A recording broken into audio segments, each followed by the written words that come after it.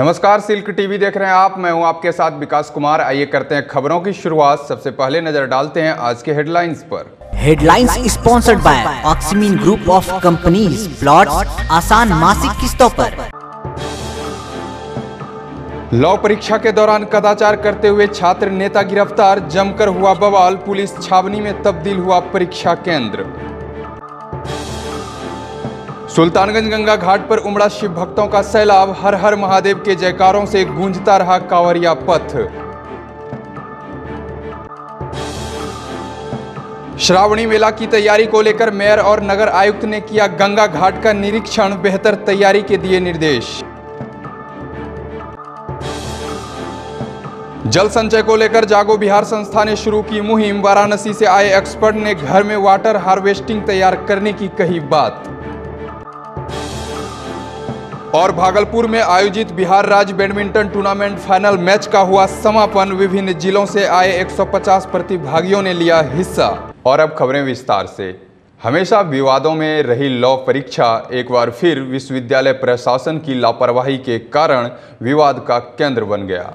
परीक्षा शुरू होने के पूर्व रैफ जवानों की प्रतिनियुक्ति और सीसीटीवी कैमरे लगाने की मांग केंद्राधीक्षक प्रोफेसर राम प्रवेश सिंह ने विश्वविद्यालय प्रशासन से की थी। लेकिन लॉ परीक्षा को विश्वविद्यालय प्रशासन ने सामान्य परीक्षा करार देते हुए केंद्राधीक्षक की मांग को खारिज कर दिया, जिसका परिणाम गुरुवार को लॉ परीक्षा में देखने को मिला, जब परीक्षार्थी और परीक्षा नियंत्रक प्रोफेसर अरुण कुमार सिंह आपस में भिड़ गए। दरअसल विश्वविद्यालय के बहुउद्देशीय प्रशाल में तीन वर्षीय लॉ कोर्स के सेमेस्टर फाइव की परीक्षा चल रही थी। इस दौरान परीक्षा नियंत्रक ने कदाचार के आरोप में परीक्षार्थी धर्मराज को नकल करते पकड़ लिया और निष्कासित कर दिया। इसके बाद छात्र और परीक्षा नियंत्रक के बीच जमकर नोकझोंक हुई। आज परीक्षा जो प्रारंभ हुई, बड़ी अच्छे ढंग से प्रारंभ हुई। इसके कुछ देर के बाद एक छात्र जो है गेस पेपर निकाला, उसमें हमारे परीक्षा नियंत्रक डॉक्टर अरुण कुमार सिंह जी थे, वो नीचे में ही वेरिएशन ड्यूटी भी कर रहे थे, सहयोग भी कर रहे थे। उन्होंने रंगे हाथ उसको जो है चीट करते हुए पकड़ा और पकड़कर जो है कंट्रोल रूम की ओर ले गए। तो उसके साथ में वो लड़का भी उसके दो तीन सपोर्ट में चला गया और अरुण बाबू के साथ धक्का मुक्की किया और उसने कॉपी छीन लिया। कॉपी छीन कर जो है नीचे चला आया। हम लोगों ने सूचनाएँ जो है पदाधिकारियों को दिए प्रतिकुलपति महोदय को दिए। प्रतिकुलपति महोदय आए फिर जो है तमाम अधिकारी जो है आ गए और आ, आने के बाद फिर जो है उसको कदाचार के आरोप में निष्कासित किया गया और कार्रवाई जो है एफआईआर दर्ज की जा रही है। एक तो नेम्ड जो है एफआईआर जो है दर्ज किया गया। दो तीन जो है वीडियोग्राफी कराई गई है उसको चेहरा देखा जा रहा है उसके समर्थन में कौन कौन सब छात्र थे। दो तीन छात्र उसके साथ में तीन अरुण बाबू से झंझट किए थे। उसकी जो है वीडियोग्राफी से देख कर कुछ बता पाएँगे कि उनके साथ कौन थे। लेकिन एक छात्र जो था जिस पर एफआईआर दर्ज किया ना उसका नाम धर्मराज सिंह है और उस पर जो है एफआईआर दर्ज मामला बिगड़ता दे की बात कही। वहीं परीक्षार्थी धर्मराज ने परीक्षा नियंत्रक और केंद्राधीक्षक पर कई आरोप लगाते हुए मामले को राजभवन तक ले जाने की बात कही। रहा सवाल एक्सपेल्सन करने का प्रयास करने का। तो मैं आपको बता दूँ ये कैसा भ्रष्ट परीक्षा नियंत्रक भागलपुर विश्वविद्यालय में जो आए दिन क्वेश्चन घोटाला क्वेश्चन छप के परीक्षा होने से पहले बेच देने का काम करता है दलालों के बीच। सर्टिफिकेट कागज़ का घोटाला करने का काम करता है। आपका ये टीआर बनवाने का काम करता है घोटाला करने का। कॉपी जांचने के लिए कमीशन लेके बाहर भेजता है, जो कि कहीं भी रूल में नहीं है। ये सब घोटाला का हम लगातार विरोध करते आए हैं। अभी हाल में एलएलबी लॉ कॉलेज का ये एग्ज़ाम नहीं लेना चाह रहे थे। हमने ज़बरदस्ती प्रेशर बन के एग्ज़ाम दिलाया है, जिसका नतीजा ये है कि वो हमारा कॉपी पकड़ के ज़बरदस्ती फाड़ दिए। ये पर्सनली टारगेट है। मैं आपको बता दूँ, रोज है। ये सब घोटाला का हम लगातार विरोध करते आए हैं। अभी हाल में एलएलबी लॉ कॉलेज का ये एग्ज़ाम नहीं लेना चाह रहे थे। हमने ज़बरदस्ती प्रेशर बन के एग्ज़ाम दिलाया है, जिसका नतीजा ये है कि वो हमारा कॉपी पकड़ के ज़बरदस्ती फाड़ दिए ये पर्सनली टारगेट है। मैं आपको बता दूँ रूल्स ऑफ़ एक्सपेल्सन कहता है, आप अगर किसी को चीटिंग करते हुए पकड़ते हैं तो सबसे पहले चीट को कॉपी में अटैच कीजिएगा एडमिट कार्ड सीज कीजिएगा क्वेश्चन सीज कीजिएगा, उसके बाद आप लाल कलम चलाइएगा। ये कहीं भी रूल नहीं है कि आप किसी का कॉपी फाड़ सकते हैं। और मैं इस मामले में एफआईआर दर्ज करूँगा और दर्ज करके मामले को राजभवन भेजूँगा। इधर मामले को लेकर परीक्षा नियंत्रक प्रोफेसर अरुण कुमार सिंह ने कहा कि छात्र धर्मराज गैस पेपर से नकल कर रहा था और पकड़े जाने पर धक्का मुक्की के साथ अभद्र भाषा का प्रयोग किया। फ़िलहाल छात्र के खिलाफ विश्वविद्यालय थाना में एफआईआर दर्ज कराया गया है। वो निरीक्षण के दौरान परीक्षा मुश्किल से 10 से 15 मिनट शुरू ही हुई कि धर्मराज नाम का जो एक परीक्षार्थी था अपने सेल्फ से मतलब बेंच जो होता है उसके अंदर एक सेल्फ भी होता है। उससे एक गैस पेपर निकाला और उसने नकल करने का प्रयास किया। मैंने इमीडिएट उसका कॉपी और गैस पेपर छीन के कंट्रोल रूम में जाने लगा। जब सीधे पर चढ़ने लगा, उसने मेरे साथ धक्का मुक्की और बस रोकी किया। कंट्रोल रूम में भी जाके सरकारी कामकाज में बाधा पहुँचाया। सरकारी कामकाज में बाधा पहुँचाया और आधा कॉपी फाड़ा, सीधा और अपने हाथ में लेके चला गया, जिसकी एफआईआर हम लोगों ने किया है वो कॉपी भी लेके चला गया। वहीं लॉ परीक्षा के दौरान परीक्षा हॉल की स्थिति इतनी नाजुक हो गई कि मौके पर सदर SDO Ashish Narayan, city DSP Rajvansh Singh, Nathnagar CO Rajesh Kumar को दंगा नियंत्रण वाहन के साथ रेफ और कमांडो फोर्स लेकर पहुँचना पड़ा। परीक्षा समाप्त होते ही कुछ छात्र प्रशासनिक भवन पहुँचे और विश्वविद्यालय प्रशासन के खिलाफ जमकर नारेबाजी की। पूरे मामले पर कुलपति प्रोफेसर लीला चंद्र साहा ने कहा कि बहुउद्देशीय प्रसाल की घटना दुर्भाग्यपूर्ण है और इसे परीक्षा बोर्ड में रखा जाएगा। विश्वविद्यालय प्रशासन नियम संगत सारी कार्रवाई करेगी। पहले जो छात्र ने किया, उसका उसका एक्सपल्सन तो हो ही गया और एक्सपल्सन एग्ज़ाम बोर्ड में रखा जाएगा, क्योंकि वो हमारे वहाँ जो वीक्षक थे और परीक्षा नियंत्रक थे, उन लोगों से भी उन्होंने हाथापाई की है, जो जो पता चल रहा है तो उसके नेम्ड एफ़ आई उसके नाम पर किया गया है और उसके बाद आगे की कार्रवाई परीक्षा बोर्ड तय करेगी। अभी तो मिनिमम एक साल का एक्सपल्सन है, अगर परीक्षा बोर्ड चाहेगी तो पाँच साल तक के लिए भी एक्सपल्सन कर सकती है। विश्वविद्यालय कभी भी नहीं कहती है कि चोरी करें, छात्र। तो ये तो छात्र को समझना पड़ेगा कि आप पढ़ने आए हैं और पढ़ाई करने आए हैं, परीक्षा दीजिए। विश्वविद्यालय सिंपैथेटिक रहती है कि लड़के हमारे ज़्यादा से ज़्यादा पास हों। इसके लिए लिबरल मार्किंग करती है। क्वेश्चन भी लिबरल दिया जाता है। उसके बाद भी लड़का अगर चीट लेकर आएँगे गेस्ट पेपर लेकर आएँगे तो विश्वविद्यालय इसमें क्या करेंगे? छात्रों को मानसिकता बदलना पड़ेगा। वो पढ़ने आए हैं, ज्ञान लेने आए हैं, नौकरी करने आए हैं कि वो चोरी करके चाहते हैं कि किसी तरह हम डिग्री ले लें। श्रावणी मेले के दूसरे दिन गुरुवार को शिव भक्तों ने सुल्तानगंज उत्तरवाहिनी गंगा से जल लेकर देवघर स्थित भगवान भोलेनाथ ज्योतिर्लिंग पर जलाभिषेक करने रवाना हुए। इससे पूर्व सुल्तानगंज गंगा घाट और जहाज़ घाट पर गंगा स्नान के लिए कांवरियों की भीड़ उमड़ पड़ी। इस दौरान बोलबम और हर हर महादेव के नारों से सुल्तानगंज गंगा घाट गुंजायमान हो उठा। उमस भरी गर्मी और चिलचिलाती धूप के कारण शिव भक्तों को परेशानियों का सामना करना पड़ा। प्रशासन की लापरवाही के कारण गुरुवार की सुबह से ही पूरे शहर जाम की चपेट में आ गया, जिससे कि कांवरियों को और भी ज़्यादा परेशानियों का सामना करना पड़ा। श्रावणी मेले की शुरुआत होते ही सुल्तानगंज रेलवे स्टेशन पर पैकेटमार नशाखुरानी गिरोह सक्रिय हो गया है, जिसके कारण स्टेशन पर पुलिस जवानों के अलावा सादे लिबास में सीआरपीएफ जवान की तैनाती की गई है। श्रावण मास की शुरुआत हो चुकी है और इसी के साथ गंगा घाटों पर अधिकारियों एवं जनप्रतिनिधियों का दौरा भी शुरू हो चुका है। गुरुवार को भागलपुर के एसएम कॉलेज सीढ़ी घाट एवं बरारी गंगा घाट का महापौर सीमा शाह, नगर आयुक्त जे प्रियदर्शनी एवं उप महापौर राजेश वर्मा ने निरीक्षण किया। रविवार को बाबा बासुकीनाथ धाम जाने वाले कांवरियों की भीड़ भागलपुर के गंगा घाटों पर जुटेगी। कांवरियों को किसी प्रकार की असुविधा न हो, इसको लेकर नगर आयुक्त एवं मेयर ने कर्मचारियों को कई दिशा निर्देश दिए। नगर आयुक्त ने गंगा घाट में फैली अव्यवस्था को देखकर कांवरियों की सुविधा के लिए आवश्यक उपाय करने का निर्देश दिया। नगर आयुक्त जे प्रियदर्शनी ने कहा कि कांवरियों की सुविधा के लिए गंगा घाटों पर साफ़ सफ़ाई, लाइटिंग एवं शौचालय की व्यवस्था की जाएगी। इसके अलावा कांवरिया मार्ग में भी कई कार्य करवाए जाएँगे।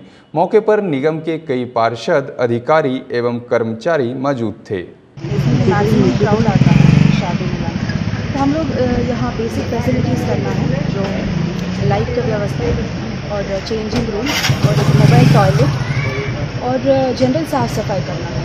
और अभी काम तो हो रहा है, कल तक हो जाएगा। हम लोग चार्टर किया हुआ अभी हम मेजर फोर गार्ड्स हैं, नगर निगम एरिया में।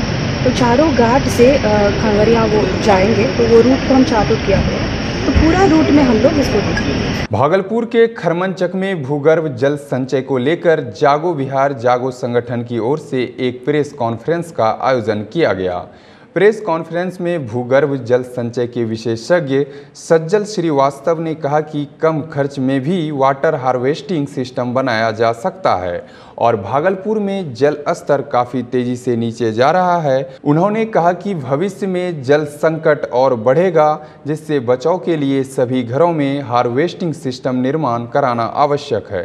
राजेश वर्मा ने कहा कि जल संकट पूरे देश के लिए चिंता का विषय है, लेकिन इसका समाधान सामाजिक जागरूकता और जल संचय की प्रक्रिया को अपनाकर किया जा सकता है।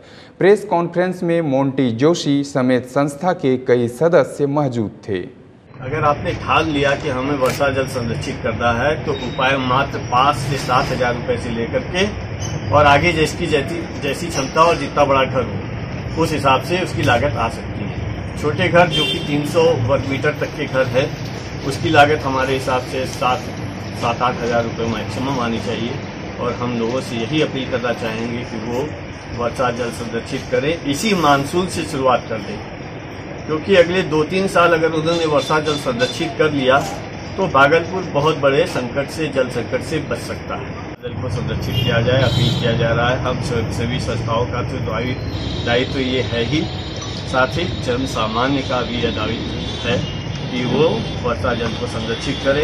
यदि उनको शुद्ध पेयजल की आस सरकार से है तो उनका यह मौलिक कर्तव्य बनता है कि वो जल को संरक्षित भी करें।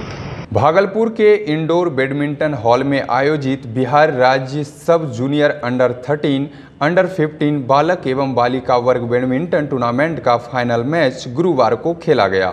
इस दौरान under 13 boys singles under 13 boys doubles under 13 girls single under 15 girls singles under 15 girls double under 15 boys singles और अंडर 15 बॉयज़ डबल्स के फाइनल मैच में खिलाड़ियों ने जमकर पसीना बहाया और जोरदार खेल दिखाया।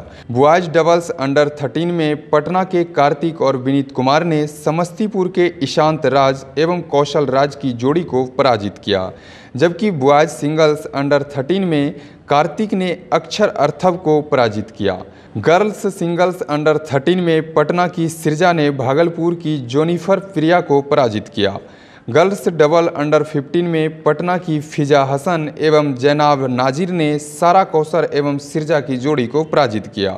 बॉयज़ सिंगल्स अंडर 15 में मुजफ्फरपुर के अमृत राज ने तनवीर अहमद को पराजित किया। समापन समारोह में विभिन्न जिलों से आए 150 प्रतिभागियों ने हिस्सा लिया, जबकि सभी विजयी प्रतिभागियों को अतिथियों के द्वारा विजेता ट्रॉफी एवं प्रशस्ति पत्र एवं मोमेंटो देकर पुरस्कृत किया गया। चैंपियनशिप में भागलपुर जिला बैडमिंटन संघ के अध्यक्ष तपन कुमार घोष, सचिव सत्यजीत सहाय ने कहा कि विभिन्न जिलों से आए बैडमिंटन खिलाड़ियों ने अपने जुझारू खेल से अन्य खिलाड़ियों के लिए उदाहरण पेश किया। इस अवसर पर अध्यक्ष H F A Khan, Rajesh Nandan, doctor Shahid Raza Jamal, मुख्य मैच रेफरी मिथिलेश कुमार सहित बैडमिंटन खिलाड़ी और दर्शक मौजूद थे।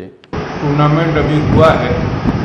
वो तीन दिनों से चल रहा था और इसमें लगभग 150 खिलाड़ी बॉयज़ एंड गर्ल्स के पार्टिसिपेट किए और विभिन्न मैच हुए। आज यहाँ हम लोग इसका समापन समारोह कर रहे हैं। आज फाइनल मैचेस अभी चल रहे हैं और इसमें अंडर 13, अंडर 15 के मैचेस हो रहे हैं। इसमें बालिका वर्ग में अंडर 13 में सिर्फ़ सिंगल्स हुआ है और इसमें अंडर 15 में बॉयज़ एंड गर्ल्स दोनों के सिंगल्स और डबल्स के मैचेस खेले गए।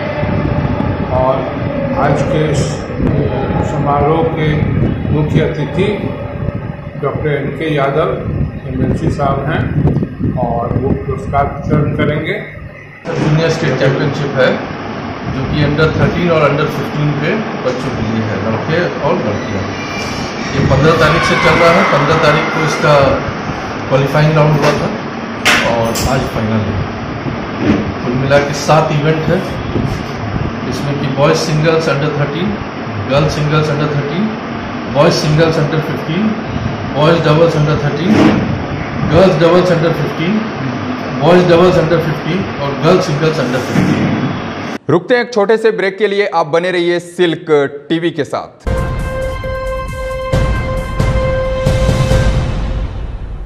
ऑक्सीमीन ग्रुप ऑफ़ कंपनीज़ आपके लिए लेकर आए हैं प्लॉट्स आसान मासिक किस्तों पर। स्टेट हाईवे के पास, गोनूधाम और जगदीशपुर में चौदह हज़ार और अठारह हज़ार की आसान किस्तों पर। Oxymin group of companies Sikandarpur near पानी टैंकी, Bhagalpur. Mobile number seven zero seven nine four four six five eight four eight four three zero zero seven five five seven three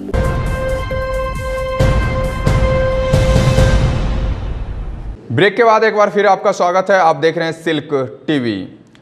बेटे और बहू की प्रताड़ना से तंग आकर 90 वर्षीय वृद्धा न्याय की गुहार लगाने मधुसूदनपुर थाना पहुँच गई। थानाध्यक्ष से शिकायत करते हुए वृद्धा ने बेटे और बहू पर प्रताड़ित करने का आरोप लगाते हुए घर से भगा देने की बात कही। वृद्धा नाथनगर के मनस्कामना नाथ रोड की रहने वाली है। बुधवार की शाम जब वृद्धा बेटे की शिकायत थानाध्यक्ष मनीष कुमार से कर रही थी उसी दौरान किसी ने वृद्ध महिला की फ़ोटो सोशल मीडिया पर वायरल कर दिया।